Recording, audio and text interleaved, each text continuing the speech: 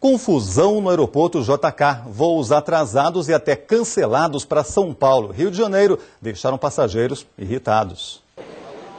No início da manhã era grande o movimento no aeroporto, principalmente no embarque. Em algumas companhias, filas grandes. A informação que eu tive é de que tá, está tudo no horário, mas pela fila eu duvido muito. Teve gente que não conseguiu embarcar ontem à noite e voltou hoje cedo. A previsão ontem era para viajar às 9 horas, acabou a previsão para 10 para 1 e agora a gente remarcou para ver se consegue viajar hoje ainda. A gente tem que esperar, fica na expectativa de viajar, tem que remarcar voo, voo cancelado, voo atrasado, traz toda a programação que a gente já tem realmente. É é bem desgastante. Na noite dessa segunda-feira, teve gente dormindo pelos bancos. Muita espera, muita indignação. Porque as pessoas têm seus compromissos, as pessoas são sérias e não podem ser prejudicadas. A reclamação era por causa dos atrasos de voos de uma mesma companhia aérea para o Rio de Janeiro e São Paulo.